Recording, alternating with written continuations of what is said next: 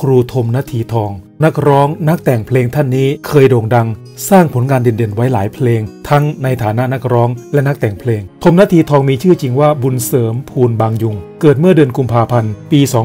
2485 ที่ตำบลบางเลนอำเภอบางเลน จังหวัดนครปฐมเป็นบุตรของนายยม นางทองอยู่ภูลบางยุง เป็นลูกคนที่ 4 เรียนจบจากโรงเรียนปฐมวิทยาลัย แต่ว่าเรียนจบเพียงม .6 ไม่ถึงม .8 เริ่มก้าวเข้าสู่วงการเมื่อราวๆปี 2507 ด้วยความที่อยากจะเป็นนักร้องมีใจรักชอบในเรื่องเสียงเพลง เขาจึงเดินทางไปสมัครอยู่กับวงดนตรี อาจารย์สมยศทัศนพันธ์ โดยทำหน้าที่แบกกลอง ยกเครื่องดนตรี วิ่งซื้อโอเลี้ยง ร้องเพลง เรียกว่าทำทุกอย่างในวง และร้องเพลงอยู่หลายปี พอสมยศทัศนพันธ์ยุบวง เนื่องจากอายุมากแล้ว เขาก็ย้ายไปอยู่กับวง บางกอกแมมโบซึ่งมีหัวหน้าวงคือเฉยลมโชย มีนักร้องร่วมวงในยุคนั้น เช่น มนมานะชัยวนิดาดาวจระแสง โก้บางกอก อนุชาดารากุล เป็นต้น อยู่กับวงนี้ไม่นาน เขาก็ได้ร้องเพลงบันทึกเสียงเป็นครั้งแรก ในเพลงที่มีชื่อว่า รักน้องจึงร้องเตือน โดยแต่งเองร้องเอง เพลงนี้ยังไม่ใช่เพลงดังเท่าไหร่ แต่ถือว่าเป็นเพลงแรกที่ทำหน้าที่เบิกทางได้ดี ต่อมาได้ย้ายมาอยู่กับวงดนตรีกาเบาเสียงทอง และได้ร้องเพลงบันทึกเสียงเอาไว้หลายเพลง เช่นเพลงโขกหมากรุกตรอกเล็กๆ โดยแต่งเองเช่นเคย เพลงโขกหมากรุกนี่เองที่กลายเป็นเพลงดังแบบจะแจ้ง แฟนเพลงทั่วประเทศให้ความสนใจ และชื่นชอบ ว่ากันว่าเพลงนี้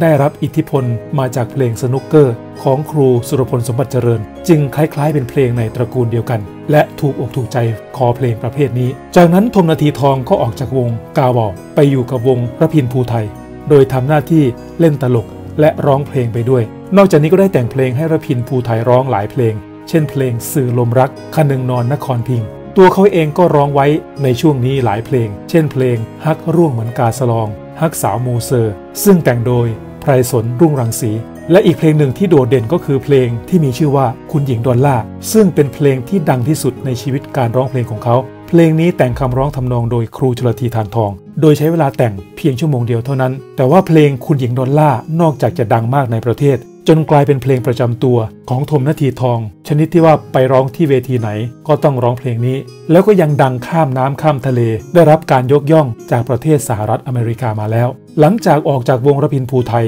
ก็รับจ้างร้องเพลงไปตามวิถี แล้วก็ได้ไปร่วมงานกับประจวบจำปาทอง ในฐานะนักร้องนักแต่งเพลง เพลงที่ดังในยุคนี้เช่นเพลงนางร้อยชื่อของดีมีน้อย ซึ่งเป็นผลงานการแต่งของครูชลทีทานทอง ออกจากสังกัดในห้างประจวบจำปาทอง ก็ไปขึ้นวงนู้นบ้างวงนี้บ้าง หลาย ๆ วง แบบสนุกสนาน ในช่วงหลังเคยทำธุรกิจโต๊ะจีนอยู่พักหนึ่งแล้วก็เลิกไปบั้นปลายชีวิตมีความสุขอยู่กับครอบครัวอยู่หลายปี จนกระทั่งเมื่อวันที่ 29 ตุลาคม ปี 2558 ก็มีรายงานข่าวว่า ทมนาทีทอง นักแต่งเพลงชื่อดัง โรครุมเดินไม่ได้ เมียต้องหาเงินประทังชีวิต ทมนาทีทองนักร้องนักแต่งเพลงชื่อดัง โรครุมเร้าหาเงินไม่ได้ จนเงินสะสมหมดใช้ชีวิตลำบาก ด้านภรรยาต้องออกมาล้างจานตามร้านอาหาร ทั้งซื้อเสื้อผ้าเก่าไปขายตามตลาดนัดเพื่อประทังชีวิต และนำเงินไปเป็นค่ารักษาพยาบาล เมื่อวันที่ 29 ตุลาคม ปี 2558 ผู้สื่อข่าวได้เดินทางไป บ้านเลขที่ 50 ทับ 1180 ตำบลบางคูรัฐอำเภอบางบัวทอง จังหวัดนนทบุรี ภายในหมู่บ้านพฤกษา 3 ซอย 54 อำเภอบางบัวทอง จังหวัดนนทบุรี เมื่อไปถึงบ้านดังกล่าวเป็นทาวน์เฮาส์สองชั้น ของนายบุญเสริมพูนบางยุง หรือทมนาทีทอง อายุ 73 ปี นักร้องนักแต่งเพลงลูกทุ่ง ซึ่งมีอาการป่วยด้วยโรคความดันโลหิตสูง โรคไขมันในเส้นเลือด กระดูกสะโพกผุ เดินไม่ไหว ต้องใช้ไม้เท้าและรถเข็นเวลาเดินทาง รอการผ่าตัด อดีตนักร้องดังกล่าวว่าเริ่มมีอาการป่วยเดินไม่ได้ และเจ็บที่สะโพกเมื่อเดือนเมษายนที่ผ่านมา ได้เดินทางไปหาหมอนวดแผนโบราณ และกินยาหม้ออยู่หลายทีตามต่างจังหวัด ที่ไหนว่าดีก็ไปรักษาหมด แต่ก็ไม่ดีขึ้นทำให้เงินที่เก็บสะสมไว้ เริ่มหมดไป ประกอบกับไม่ได้เดินสายร้องเพลง และไม่มีรายได้อื่น จึงหันมารักษาแผนปัจจุบัน พบว่ากระดูกสะโพกเสื่อมต้องทำการผ่าตัด โดยหมอนัดผ่าตัดเดือนธันวาคมที่จะถึงนี้ ขณะนี้ไม่มีรายได้เงินที่เก็บสะสมไว้ก็หมดไปกับการรักษาที่ผ่านมา มีเพียงเงินผู้สูงอายุ 700 บาทของตน และนางสุกัญญา รัตนมณีกุล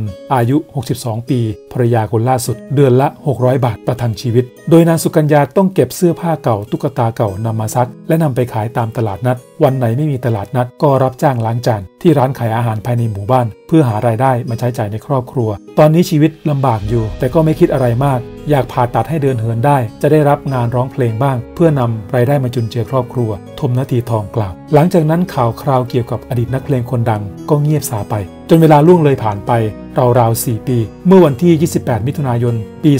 2562 แฟนเพลงญาติมิตรของทมนาทีทองก็ได้รับข่าวร้าย เมื่อมีรายงานข่าวว่าทมนาทีทอง นักร้องนักแต่งเพลงลูกทุ่งชื่อดัง เสียชีวิตลงอย่างสงบในวัย 77 ปี เมื่อวันที่ 28 มิถุนายน ปี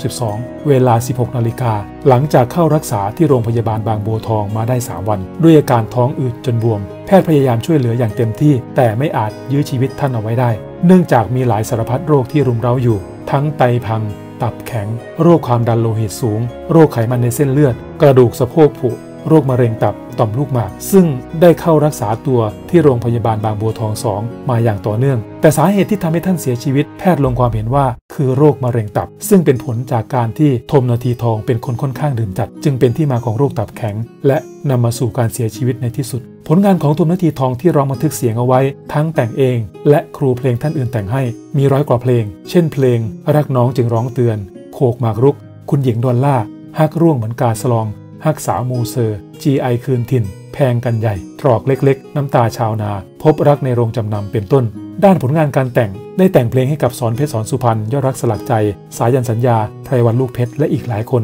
นอกจากนี้ยังได้แต่งเพลงขวานทองของไทย ซึ่งเป็นเพลงที่ได้รับพระราชทานประกาศ จากสมเด็จพระนางเจ้า สิริกิติ์พระบรมราชินีนาถในสมัยนั้นด้วย ทางครอบครัวเคลื่อนศพไปทำพิธีทางศาสนา ที่วัดเกษมสุริยมนาถอำเภอบางเลน จังหวัดนครปฐมซึ่งเป็นบ้านเกิดของอดีตดาวดัง โดยมีกำหนดสวดอภิธรรมเวลา2ทุ่ม ตั้งแต่วันเสาร์ที่ 29 มิถุนายน ปี 2562 ถึงวันที่ 3 กรกฎาคม ปี 2562 และมีพิธีประชุมเพลิง ในวันพฤหัสที่ 4 กรกฎาคม ปี 2562 เวลา 15 นาฬิกา